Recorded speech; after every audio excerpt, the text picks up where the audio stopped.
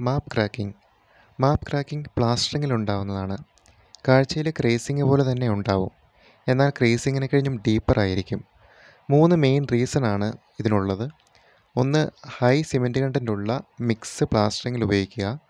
പ്രോപ്പറായിട്ട് ഗ്രേഡ് ചെയ്യാത്ത സാൻഡ് ഉപയോഗിക്കുക. പ്ലാസ്റ്ററിങ് പെട്ടെന്ന് ഡ്രൈ ആവുക.